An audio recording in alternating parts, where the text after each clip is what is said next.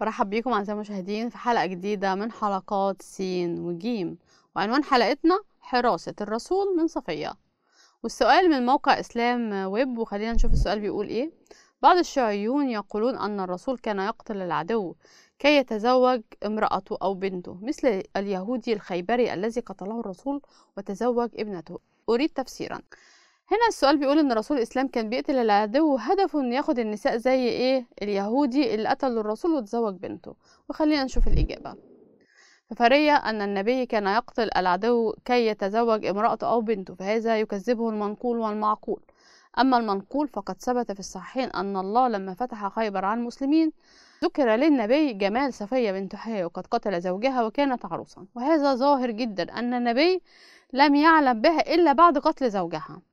وهنا بيقول إن ده افترى على رسول الإسلام إنه كان يقتل من أجل النساء وإن في الصحيحين لما فتح خيبر قالوا له على جمال صفيه صفية وكان كان قاتل جوزها وخلينا نشوف المنقول في الكتب قال إيه. ومنهم من يقول إذن لي ولا تفتني ألا في الفتنة سقطوا إن جهنم المحيطه للكافرين. ودي سورة التوبة 49 تفسير ابن كثير بيقول إيه؟ قال رسول الله ذات يوم وهو في جهازه للجد بن قيس بني سلمة هل لك يا جد العام في جلاد بني الأصفر؟ فقال يا رسول الله ائذن لي ولا تفتني فوالله لقد عرف قومي ما رجل أشد عجبا بالنساء مني وإني أخشى إن رأيت نساء بني الأصفر لا أصبر عنهن. فأعرض عنه النبي وراحت نزلت الآية. يبقى أثبتت بسورة التوبة 49 أن الرسول كان إيه؟ بيفتن الرجالة بالنساء وبيقول للجد بن قيس هل لك في بنات الأصفر؟ وفي تفاسير تانية بتقول اغزوا تبوك تهنموا بنات الأصفر. فالراجل قال له أنا ما بقدرش أصبر على النساء أنا لو شفتهم هفتتن وأنت أنا معروف كده في قومي. فراحت نزلت الآية بسبب أن رسول الإسلام كان بيغري الرجالة للحروب معاه علشان يغنموا بنات الأصفر ونكمل الإجابة. ويؤكد هذا أن صفية وقعت في أول الأمر في سهم دحية الكلبي كما في الصحيحين أيضا إنها وقعت في سهم دحية فاشتراها رسول الله بسبعة أرقص إيه رأيكم؟ لو رسول الإسلام مش بيهمه ومش شهواني زي ما هو بيقول ومش بياخذوا من أجل الغنائم والنساء النساء ليه بدل صفية بسبعة أرقص؟ ليه قال لدحية هاتها وخد مكانها سبعة؟ لأنها كانت جميلة وخلينا نكمل الإجابة. وفي رواية أخرى في الصحيحين أيضا أن رسول الله غزا خيبر ودخلها عنوة وجمع السبي فجاءه دحية فقال يا رسول الله اعتني جارية من السبي فقال اذهب خذ جارية. فأخذ صفية بنت حيي فجاء رجل إلى النبي فقال يا نبي الله أعطيت دحية صفية بنت حيي سيدة قريظة والنضير ما تصلح إلا لك؟ قال ادعوا بها. قال فجاء بها. فلما نظر إليها النبي قال خذ جارية من السبي غيرها. قال وأعتقها وتزوجها. يبقى لما غزا خيبر ودخلها عنوة جمع السبايا. فدحي قال له يا رسول الله اديني جارية. قال له روح خد اللي أنت عايزه. فراح هو اختار صفية وكانت حلوة يعني جميلة. وطبعا باقي الصحابة شافوا إنه خد واحدة حلوة راحت غازوا وراحوا للرسول يقولوا له إيه؟ أنت عطيت دحية سيدة بني قريظة والنضير وهي ما دي ما يعني ما حدش ياخدها غيرك يا رسول الله. فراح قال له إيه؟ خلاص وريهاني كده. فأعتقها وتزوجها. وخليني أوريك الكتب قالت إيه في تزويج الرسول من صفية. في السيرة النبوية لابن هشام إيه إلى آخر المرجع قدامكم. بيقول إيه؟ بناء الرسول بصفية. يقول قال ابن إسحاق لما أعرس رسول الله بصفية بخيبر أو ببعض الطريق وكانت التي جملتها لرسول الله ومشطتها وأصلحت من أمرها أم سليم بنت ملحان أم أنس ابن مالك. فبات بها رسول الله.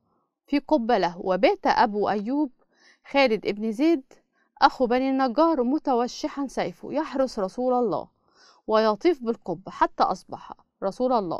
فلما رأى مكانه فقال ما لك يا أبا أيوب؟ قال يا رسول الله خفت عليك من هذه المرأة. كانت امرأة قد قتلت أباها وزوجها وقومها وكانت حديثة عهد بكفر فخفتها عليك. فزعموا أن رسول الله قال اللهم احفظ أبا أيوب كما بات يحفظني. إيه رأيكم؟ هل في عريس بيتحرس من عروسته يوم فرحه ويقول خفت عليك من هذه المرأة وكانت امرأة قد قتلت أباها وزوجها وقومها وكانت حديث عهد بكفر فخفتها عليك يعني كان بيعمل إيه؟ يعني أكيد كان بيغتصبها.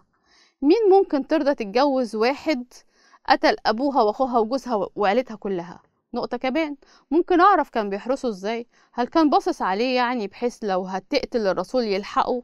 كان يعني كده بيتفرج يعني طول الليل واقف باصص عليهم ونكمل الإجابة. قال السندي في حاشيته على سنن النسائي كأنه ظهر له من ذلك عدم رضا الناس باختصاص دحية بمثلها فخاف الفتنة عليهم.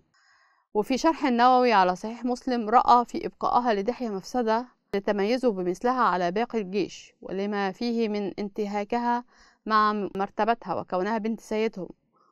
ولما يخاف من استعلاءها على دحية بسبب مرتبتها وربما ترتب على ذلك شقاق أو غيره. فكان أخذه صلى الله عليه وسلم إياها لنفسه قاطعا لكل هذه المفاسد المتخوفة. يبقى الرسول أخذ أحلى واحدة وبدلها بسبعة جواري مع دحية مع دحية علشان ما يعملش مشاكل وهي كمان ما تتكبرش على دحية هل يعني الرسول اتعلم الدرس لما جوز زينب بنت جحش غصب عنها لزيد واتكبرت عليه؟ واحدة بيتم اغتصابها كسبية بعد قتل أهلها مو يعني بتذل ونفسيتها مدمرة ويقول عشان ما تتكبرش على دحية هل دي تبريرات أنت ممكن تقتنع بيها كمسلم؟ لأن معروف أصلا إن الرسول بياخد صفي المغنم. وخلينا نكمل الإجابة. قال ابن حجر في الفتح المراد بسهمه هنا نصيبه الذي اختار لنفسه وذلك إنه سأل النبي أن يعطيه جارية فأذن له أن يأخذ جارية فأخذ صفية. فلما قيل للنبي إنها بنت ملك من ملوكهم ظهر له أنها ليست ممن توهب لدحية لكثرة من كان في الصحابة مثل دحية وفوقه وقلة من كان في السبي مثل صفية في نفاستها. فلو خصه بها لأمكن تغيير خاطر بعضهم فكان من المصلحة العامة ارتجاعها منه واختصاص النبي بها. فإن في ذلك رضا للجميع. وبهذا يعلم أن النبي لم يأمر بقتل زوجها ليتزوجها بل لما قتل زوجها يوم خيبر أحسن إليها النبي بأن أعتقها وجعل عتقها صدقها كما في الصحيحين وغيرها. شوفوا يا عيني التبررات اللي عمال يحطوها عشان يهموك إن الرسول ما كانش هدفه يعني إن هو بيغزو عشان ياخد الستات وانه شهواني. وأنا هقول لك يا مسلم حادثة مشابهة إن خالد بن الوليد قتل مالك بن النويرة وقطع راسه ونزع على مراته. على مرات مالك إبن النويرة. حتى إن عمر بن الخطاب كلم أبو بكر إنه يعزله بسبب إنه قتل مسلم. مش حتى غير مسلم يعني كافر. هل يعني أنت تصدق إن دي تعليم ودي تعليم اتعلمها خالد من مين؟ دي تعليم اتعلمها من رسول الإسلام وافعال رسول الإسلام. من الطبيعي إن السبي بعد الحرب آآ آآ إن يعني الرسول مش بيؤمر عشان ياخد هم طبيعي بعد ما بيقتلوا بياخدوا النساء. حتى لو جوزها عايش روحوا لسورة النساء 24 هتلاقي إن هم كانوا حتى لو جوزهم عايشين بيغتصبوهم وده في سورة النساء 24 فده مش تبرير إن الراجل اتقتل الأول ولا الراجل ما اتقتلش ولا اتقتل بعديه بعدها أخد بعدها أخده ولا قبل قتله ولا بعده. كلام فاضي كل ده لأن حتى لو ما اتقتلش هياخدها.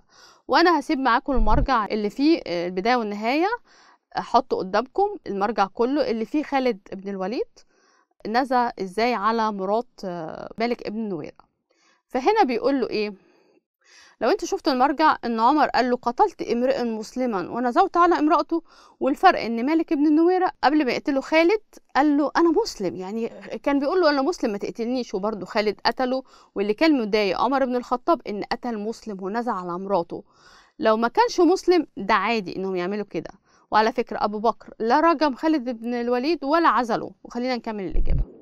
وأما من ناحية المعقول فلا بد من النظر في سيرة النبي حال شبابه وقبل نزول الوحي ثم في حال كهولته بعد نزول الوحي وكيف لم يتزوج إلا امرأة واحدة سيبا تكبره في السن وهي السيدة خديجة رضي الله عنه فهل يعقل بعد كبر السن ونزول الوحي وتحمل أعباء الرسالة وتكاليف الديانة أن تنقل حياته إلى طلب الشهوات والقتل من أجلها. سبحانك هذا بهتان عظيم.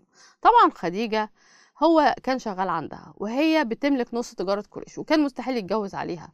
لكن لما ماتت طلب من خولة بنت حكيم تخطب له آه وقالت له أنت عايز إيه سيب ولا بكر؟ قال لها عايز الاتنين. واتجوز سودة وعيشة في نفس الوقت.